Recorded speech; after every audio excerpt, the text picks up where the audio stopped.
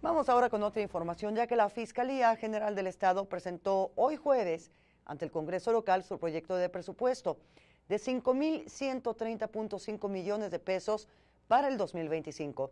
El encargado del despacho, Pedro Arce Jardón, acudió a la oficialía de partes para presentar este documento, en donde se detalla que 570 millones serán para proyectos de obra pública, como un nuevo centro de justicia para la mujer, la construcción del centro de evaluación y controles de confianza.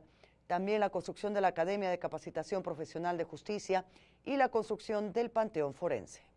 Bueno, eh, estamos presentando, perdón, un presupuesto aproximadamente en 4.560 eh, millones de pesos con relación al presupuesto ejercido en el 2023, que es nuestro comparativo. Estamos hablando de un un incremento aproximadamente entre el 15 y el 16% para lo que es nuestro gasto corriente, nuestro gasto operativo.